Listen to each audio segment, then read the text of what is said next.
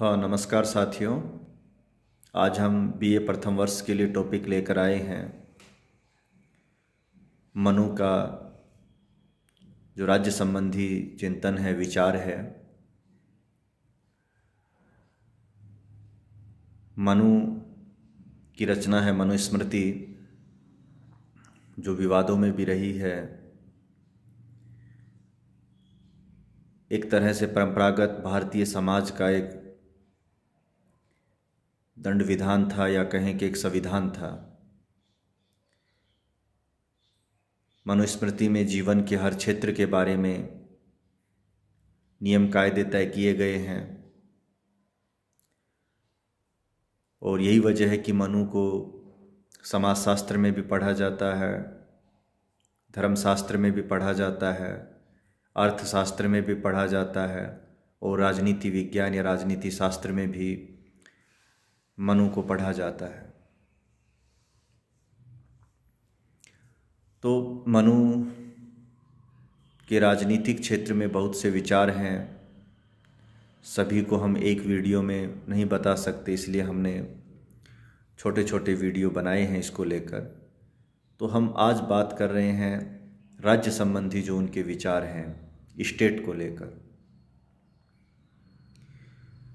राज्य संबंधी मनु के विचार,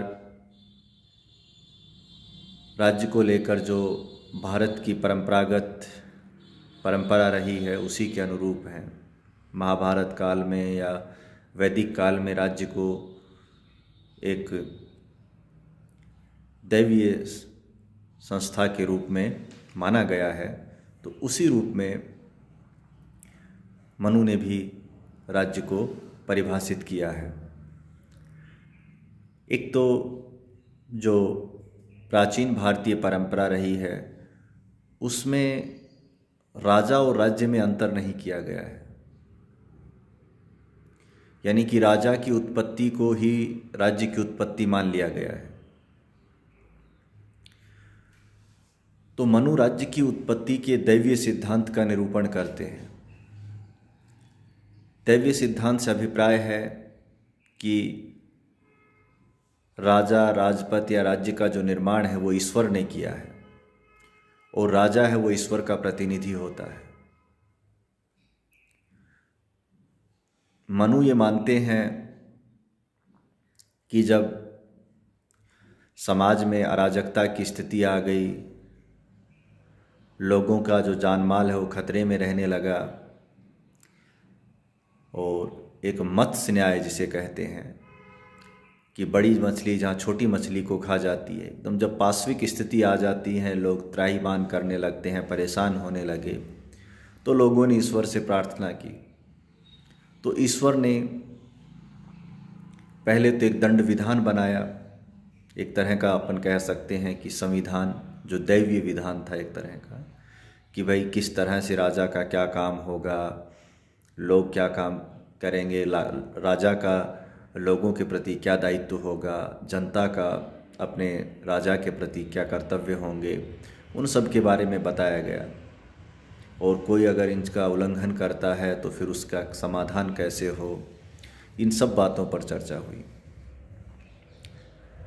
और फिर राजा का निर्माण किया।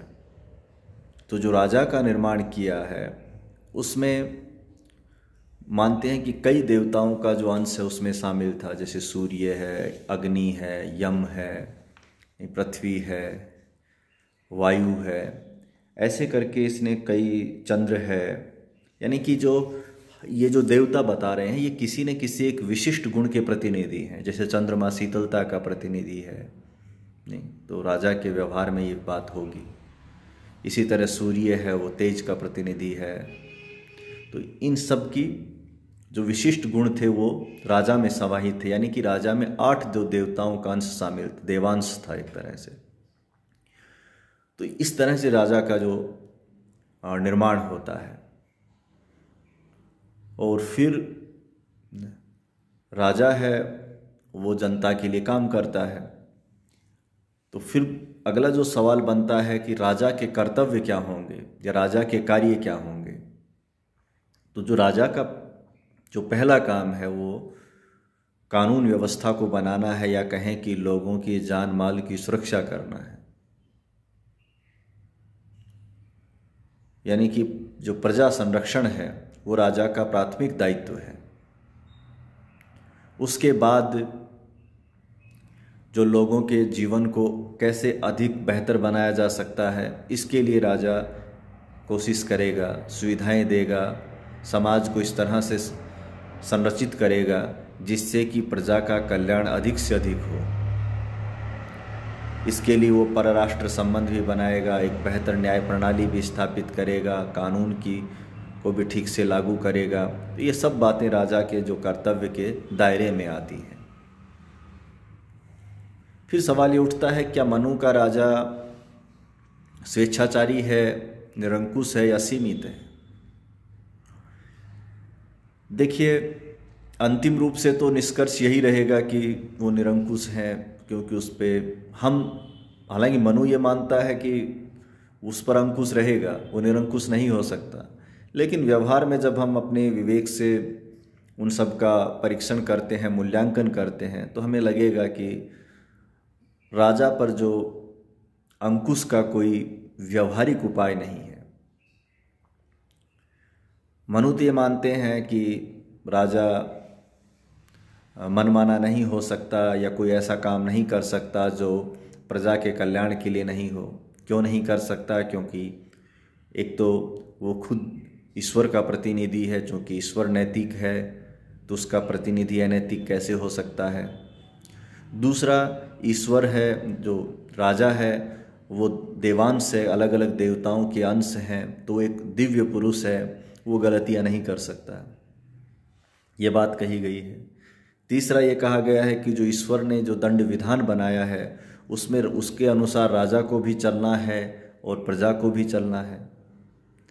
तीसरा, वो एक राजा के लिए एक अच्छी एजुकेशन की बात करता है कि जब वो वो शिक्षा, दीक्षा लेने के बाद वो ऐसा नहीं कर सकता है। वो खुद उस दौरान धर्मशास्त्रों का अध्ययन करेगा। समाज को समझेगा तो उसके फैसले हैं वो व्यापक हित में ही होंगे। तीसरा एक एक और बात जो कही गई है, जो राजा पर अंकुश के लिए, कि राजा जो फैसला है वो अकेला नहीं लेता है, बल्कि उसके साथ एक मंत्री परिषद होगी। अलग अलग मंत्री होंगे, राजा उनसे विचार विमर्श करेगा और उसके बाद अपना निर्णय देगा। तो इस तरह से मनु मानते हैं कि जो राजा है, वो निरंकुश नहीं हो पाएगा, क्योंकि उस पर कई तरह के जो प्रतिबंध या अंकुश रहेंगे। लेकिन सवाल फिर यही उठता है कि राजा अगर मनमानी कर जाए, तब क्या उपाय है? वो दिव्यांश होने के बाद भी वो गलती कर जाए तो फिर जनता के पास ऐसा क्या उपाय है कि वो राजा को बदल दे? तो वहाँ मनुमौन हो जाते हैं। कुल मिला के वो कहते हैं कि अगर राजा गलत है तो वो नरक का भागी होगा, ईश्वर उसे दंडित करेगा। अब वो क्या जाने कि कोई दंडित होता भी है, नहीं होता है, ऊपर जाके क्या होगा? लेकिन नीचे तो वो तबाही मचा के चला जाए तो फिर ऊपर उसके साथ क्या होता है, उससे फिर क्या फ़ायदा? और या होता भी है, नहीं होता है, ये किसने देखा? तो यहाँ से फिर जैसे ऐसा लगता है कि मनु ने राजा को निरंकुश बना दिया है। हकीकत में राजा पर अंकुश तभी लगेगा जब राजा की मनमानी को रोकने के लिए यथार्थ में जो शक्ति है वो जनता को दी जाए। कि जनता अपने निरंकुश राजा को हटा सके, तब तो ये माना जाएगा कि वो सीमित राजतंत्र के पक्षधर हैं या एक ऐसे राजतंत्र को सपोर्ट करना चाहते हैं जो जनता के प्रति उत्तरदायी हो। तो मनु ने जितने भी उत्तरदायित्व तय किए हैं या राजा पर जितने भी उन्होंने अंकुश बताए हैं, वो अंकुश अपने आप में एक सतही हैं या आध्यात्मिक हैं या आभासी दुनिया के हैं। अब मंत्री परिषद की सलाह तो ले, लेकिन नहीं माने तो मंत्री परिषद के पास ऐसा तो कोई अधिकार नहीं है कि वो राजा को अंकुश में ले या सिकंजा कस दे उस पर, या उसको हटा दे, या उसे अपना निर्णय मानने के लिए बाध्यकारी कर दे। तो ये सब अच्छी बातें हैं कि राजा में देवताओं का अंश है, राजा की एजुकेशन बेहतर है, राजा के सामने दंड विधान है। नहीं, राजा मंत्री परिषद से सलाह लेता है। लेकिन इन सब के बावजूद भी राजा मनमानी पर उतर आए, तब क्या उपाय है?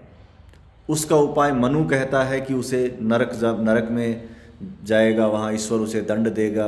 अब आम जनता क्या जाने कि उसको दंड मिला नहीं मिला कब मिलेगा कब वो नरक में जाएगा।